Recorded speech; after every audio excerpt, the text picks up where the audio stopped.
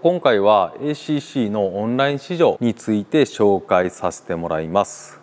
普段なら実際 ACC の店舗に来てもらって試乗してもらって乗り心地エアサスの上がり下がり体感してもらうんですけどコロナ禍の影響によってなかなかあの店舗に来ることができないっ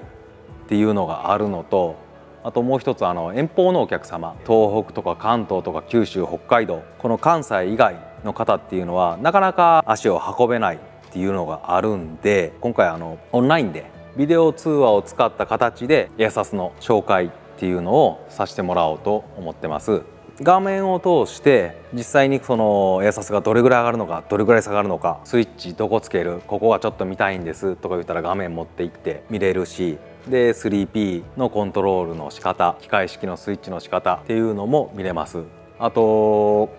トランクですね。トランクの方もどれぐらい荷物が置けるんだ。L 型ラゲッジでどういう風につけるんですか。タンクコンプレッサーはこういう風な置き方があります。でコンプレッサーのノイズですね。ノイズもどれぐらいあるのか。減衰の調整方法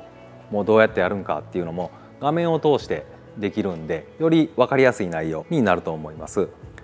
でいつもあのお客さんの方から電話で商品のことについて問い合わせを受けるんですけどそれの延長線上やと思って電話プラス画面がついてショップにいるかその店舗で見てるかのような説明ができるんでより分かりやすい内容に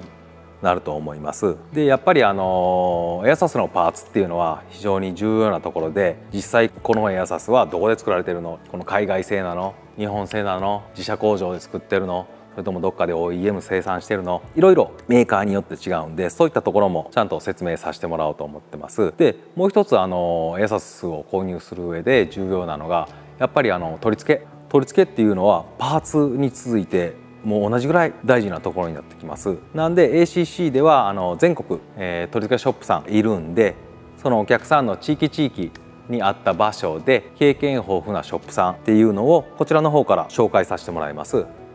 なんであのパーツの方でも安心してもらって取り付けの方でも安心してもらえればいいなと思ってます。あと申し込み方法としては、えっと、ACC のウェブサイトまず Google とかで、えー、検索ですね。検索してもらって、えー、ACC エアサスで検索してもらったら一発で上に出てくるんで ACC エアサスで検索してホームページ中入ってもらってで右上の日本の国旗日本の国旗をクリックしてもらえればこれで日本のページに入ります。でそこの、えー、一番トップページからずっと下にスクロールしてもらったら市場予約のバナーがあるんでそれをクリックしてもらえれば申し込みフォームに入ります。でこちらの方で、えー、っと実際店舗に来て市場かもしくはオンライン備考の方にオンライン市場希望っていうふうに書いてもらえればこれで申し込み完了なんであとはこちらの方から連絡させてもらいます。っていう感じで自宅にいながら、えー、好きな場所にいながら気軽にビデオ通話を使ってエアサスの説明がより詳しく受けれるんでよりあれですね不安なところを解消できると思ってます。なんであの気軽に使ってもらえればいいと思ってます。あとこの ACC のテックシリーズの動画では、えーと、エアサスについて、えー、気になること取り上げてほしい内容など随時リクエスト受け付けてるんでえー、よかったら気軽に連絡ください。はい以上。今日はオンライン市場についての紹介でした。